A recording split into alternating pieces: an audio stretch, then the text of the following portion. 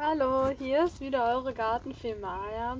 Wir befinden uns hier in meinem Garten und ich dachte, ich zeige euch mal meine Weinreben bzw. einige meiner Weinreben, da wir uns hier im Pfälzer Wald befinden und ich nicht äh, beim Weinbau arbeite und ich hier dennoch einige Weinpflanzen habe bzw. Weinreben, beziehungsweise bin ich der Meinung, sie sollten eher Traubenpflanzen heißen, da man die Trauben auch essen kann, ohne daraus Wein zu machen. Aber darum geht es ja eigentlich in dem Sinne gar nicht. Bei Weinreben handelt es sich um durchaus äh, schnellwüchsige, sommergrüne äh, Kletter- bzw. Schlingpflanzen, welche auf jeden Fall ein Gerüst benötigen, um zu wachsen. Ich verwende hier einfach mein mein Geländer bzw. mein Zaun hier Richtung Keller gehend, an welchem sich die Weinrebe durchaus auch fest geschlungen hat mit ihren kleinen, naja, fast schon Greifärmchen und sie hat sich hier auf jeden Fall fixiert. Es gibt äh, im Grunde genommen vier Weinrebenarten, die man hier im mitteleuropäischen Raum anpflanzen kann, welche eben auch winterhart bzw. beständig sind. Generell wird Wein noch viel zu häufig angepflanzt, finde ich, da es eben, da Weinreben dieses besonders optisch schöne und auch ansprechende Laub haben, wenn es Richtung Herbst und Winter zugeht. Also wenn ihr einen optischen Blickfang haben wollt in euren Gärten, welcher auch noch im Herbst und im Winter schön aussieht, dann könnt ihr euch auf jeden Fall den Weinreben bedienen. Da gibt es dann auch wieder unterschiedliche Arten bzw. unterschiedliche Sorten äh, mit grünen grüne Weinreben bzw. grüne Trauben, blaue Trauben, die dann eben auch unterschiedlich im Geschmack sind und auch für unterschiedliches verwendet werden. Wie eben verschiedene Weine, wobei ich mich da nicht so auskenne.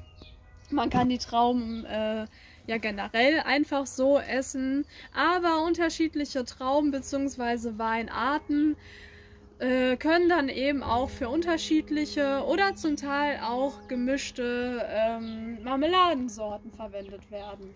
Also sie bieten nicht nur optisch einen, einen schönen, ansprechenden Blick und sie können nicht nur euer Geländer dekorieren, sondern wenn ihr gerne Marmeladen äh, macht oder mal euren eigenen Wein herstellen möchtet oder generell einfach gerne Obst esst, dann können solche Weinreben für den eigenen Garten natürlich auch ideal sein. Man kann hier auch sehen, dass die äh, Reben zum Teil hier schon durchaus Fruchtansätze haben, aus welchen dann später einmal Trauben hervorspringen werden. Ähm, genau. Die äh, Weinreben wurzeln durchaus sehr tief also äh, in einer sehr tiefen Tiefe, was bedeutet, dass sie eben auch ähm, durchaus robust sind, denn je tiefer die Wurzeln gehen und sie, je stärker sie sich ausbreiten, desto robuster ist eine Pflanze natürlich auch auf jeden Fall. Man kann hier aber sehen, wie sie sich auf jeden Fall gut verbreitet. Und der Vorteil von Weinreben oder wie es auch bei vielen anderen Pflanzen ist, dass man sie auf jeden Fall auch äh, kombinieren kann, was wir uns auch gleich einmal genauer ansehen werden äh, mit einer Veredelung mit ähm, Wachs, wodurch wir dann die Wurzel oder die robuste Knolle einer Pflanze haben in Kombination mit einer anderen Weinrebe. Aber das Ganze werde ich euch auch gleich jetzt noch einmal zeigen. Die Wurzeln solcher Reben können übrigens etwa in äh, eine Tiefe von bis zu 10 Meter erreichen. Also sie wurzeln, wie bereits erwähnt, dann eben sehr tief. Man kann hier jetzt aber auch nochmal sehen, was ich meinte, und zwar das Aufpropfen der Pflanzen. Was bedeutet, dass hier eben die eine Weinsorte mit der anderen verbunden wird, damit man eben aus beiden Pflanzen sozusagen das Beste herausholen kann. Und man kann hier auch sehen, dass das Ganze hier echt gut funktioniert hat, da man eben die Weinpflanze hat, die sich hier auch über das ganze Geländer hinweg verbreitet hat. Ich lasse meine Weinrebe bzw. meine Weinreben hier einfach so wachsen, aber sie lassen sich natürlich auch äh, beschneiden wie beispielsweise auch die Tomatenpflanzen, wodurch dann ein durchaus höherer Ertrag erzielt werden kann, wenn es eben um die Ernte dieser Pflanzen geht.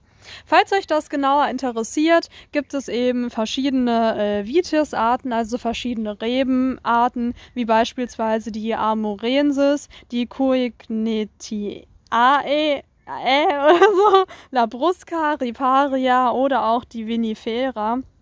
Und diese unterscheiden sich eben auch in der Farbe ihres Herbstlaubes, äh, in dem Geschmack ihrer Früchte. Zum Teil sind es auch welche, die keine essbaren Früchte tragen. Aber falls ihr euch da für bestimmte ähm, Weinreben und Sorten unter, äh, nicht interessiert, ähm, oder falls ihr da genaueres wissen möchtet, kann ich euch dazu natürlich auch nochmal ein externes Video drehen, wobei das jetzt hier aber in diesem Video den Rahmen sprengen würde. Ich habe hier ähm, zwei recht invasive Schlingen bzw. Kletterpflanzen. Und zwar eben einerseits die Weinrebe, die man hier sehen kann, bzw. den Wein. Und hier äh, mein Blauregen. Und die verbreiten sich hier recht gut über den Garten hinweg, wobei der Blauregen doch durchaus etwas invasiver erscheint als der, die Weinrebe, weswegen die eher mal zurückgeschnitten werden muss. Aber ich habe mich für diese Pflanzen hier entschieden, um meine Pergola zu begrünen, die man eben auch hier sehen kann, was dann nach und nach, vor allem jetzt Richtung Sommer hin, der Fall sein wird. Aber so kann man auf jeden Fall mit solchen Pflanzen sein, äh, sein Garten relativ gut begrünen, beispielsweise eben sein Geländer oder auch die Wände, bis hin zu solchen Holzkonstruktionen, wie ich auch eine hier habe. Das war's dann jetzt mit diesem Video bzw. der Vorstellung meiner Weinreben hier. Ihr könnt dem Video auch gerne einen Daumen nach oben geben, wenn es euch gefallen hat und mir in die Kommentare schreiben, ob ihr vielleicht ebenfalls Weinreben habt, habt und falls ja, ob diese bei euch Früchte tragen. Äh, abseits dessen habe ich schon gesagt, abonnieren. Ich glaube schon. Falls nicht, könnt ihr mich auch gerne abonnieren. Äh, und äh, abseits des Ganzen hoffe ich, dass wir uns dann bald in einem anderen Video wiedersehen. Hier auf diesem Kanal, wenn ich euch weitere Pflanzen vorstelle oder über andere Garten- bzw. Aquaristik-bezogene Themen mit euch spreche. Darüber würde ich mich auf jeden Fall sehr freuen, wenn wir uns da dann wiedersehen. Eure Gartenfee Maya. Bis bald.